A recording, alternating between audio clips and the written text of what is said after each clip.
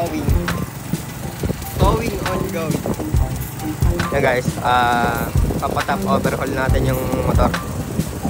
Tumirik ako kahapon. Tumirik ako kahapon, malapit na sa amin. Trepa, mga alas. Pero at least doon ako tumirik, malapit na sa amin. Ano, ah ngayon, nataka-taka ko ni Papa. Dadal namin dito sa may Lolo Talks papagawa namin. Marilaki. Ayan guys, tignan natin kung anong gagawin nila dito sa may Lolo Talks. Babantayan ko. Kailangan ngayon, ano ngayon, Tuesday, so wala namang pasok. And tignan natin kung magagawa kasi bukas kailangan ko siya. Ito, dito tayo sa Lolo Talks papagawa. Tara. Baba ko muna guys. Dito guys, sinisimulan na pala tanggalin ni Sir Cesar yung mga pairings para maka-access dun sa may top or sa may head nitong motor. At para maka-access yun, kailangan tanggalin tong mga pairings dito sa harap. Ayan, tignan natin guys kung paano babaklasin ni Sir to. So ayun guys, uh, spoiler lang, matagal na palang nagagawa to si Sir Cesar. Tatlong dekada na raw siyang nagagawa ng mga ganito kaya master niya kahit anong brand ng motor. Yamaha, Honda, Suzuki or kahit ano pa. Tapos dito makikita nyo tinatanggal dyan yung air filter kasi kailangan alisin yan at aalisin din dyan yung carb para ma-access siya. So ayan guys, dito natanggal na siya. So ayan, kinakalawit yung sa may head dyan para matanggal. Ayan, ito yung timing chain na naputol, yung timing guide. Ayan.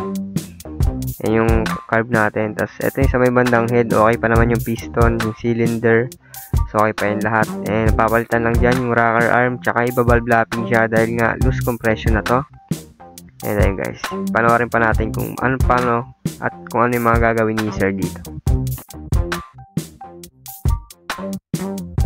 Dito guys, ayan, inaalis na yung mga carbon deposit dito sa may loob ng chamber. Dito pala nagaganap yung compression. So, nandiyan dyan yung dalawang valve nitong Yamaha. Ayan, makikita nyo dyan yung mga valve niya and then Ayan, dyan naalisin yung mga namuo na carbon deposit.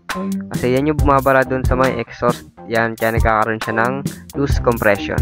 Nangyayari pala yung loose compression guys kapag yung motor nyo ay may katandaan na. So itong sa akin kasi ay pa 13 years na siya ngayong November. So ito ay Yamaha Vega. Ito yung mga unang version ng Yamaha Vega. And then dati nang nagawa yung uh, selector ng cambio nito sabi ni Papa. And itong top niya or itong head niya ngayon lang ito nagawa so lahat to stock pa. So sobrang tibay ng Yamaha.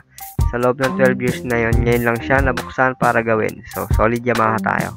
Tapos yung ginagawa pala ni sir dito guys ay pinapalapat niya na yung mga barbula natin. So mas effective daw tong way na to kaysa dun sa iniikot-ikot. Kasi dito dahil pinupukpok mas lumalapat yung bulb ng maayos doon sa mga dapat niyang lapatan dyan. So may nilagay si sir dyan na special compound na I think grinding compound yon sabi ni Papa. And then ayan pinapalapat niya ng maayos yung valve dyan para magkaroon ng solid na compression. Kapag yan ay ibinalik na at nagsunog na siya ng gas dyan sa may chamber. Tapos guys kaya sin siguro tumirik ako nung araw na yon or kahapon. Kasi nga uh, naputol na dito yung timing chain guide. So nagkaputol-putol na siya.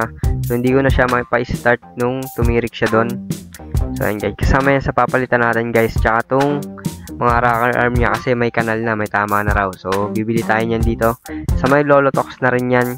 Kaya dito kami nagpagawa kasi andi dito na yung mga mekaniko and andito na rin yung mga pyesa. Tsaka solid gumawa tong Lolo Talks guys. Sikat sila dito sa lugar namin. Dito lang to sa veterans. Sa may Antipolo dito sa may San Jose sa amin. Tapos dito guys, natapos na gawin lahat na pa valve lapping na and then nailagay na yung bagong rocker arm. So, yun, kinabit na yung head dito. Tapos mamaya bibili tayo ng langis kasi nga biniyak yung sa may kabila doon para ma-access yung timing chain at para mapalitan yung timing guide doon. So, kailangan natin ng panibagong langis dito. And tingnan natin guys kung kamusta yung andar niya.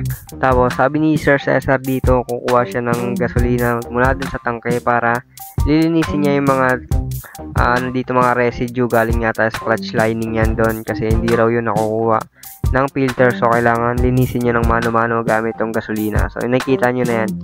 Yan yung magneto ng motor dyan galing yung charge papunta dun sa battery.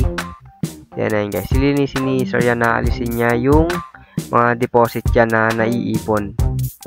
Ayan. Kaya winiwisik niya na dyan. Parang magsisilbi na ano eh carb cleaner pero sa ano na to ayun yung ginamit pwede kasi panlinis ng gasolina So, nilinis siya dyan para siguradong pagbalik, malinis yung loob ng makina.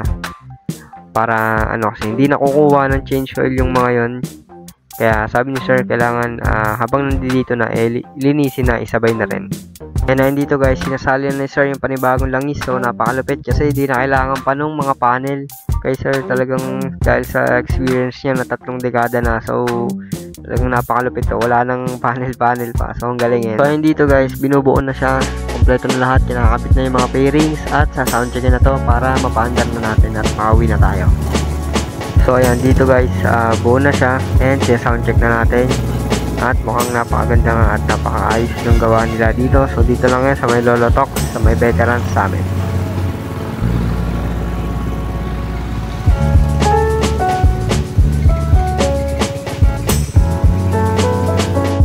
And ayun guys, dito pauwi na kami ni Papa and gusto ko magpasalamat sa Papa ko kasi sinamahan niya ako dito simula sa pagtowing hanggang sa matapos yung motor. Thank you so much Papa sa pagsama sa akin. Sinigurado mo talaga na magagawa ng maayos yung motor at matatapos siya. And shoutout sa mga tatay natin dyan, sa mga magulang natin. So hanggang dito lang muna yung vlog natin guys. Kita-kits tayo next vlog. Drive safe, ingat palagi. And alam niyo na, like, share, subscribe. Bye-bye!